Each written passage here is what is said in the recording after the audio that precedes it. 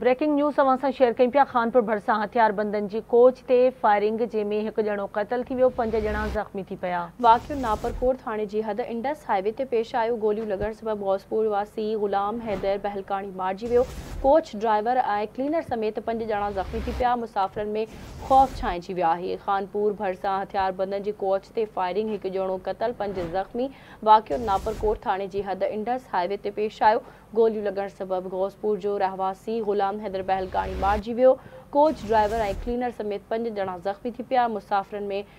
ख़ौफ़ ऐं हिरास छांइजी वियो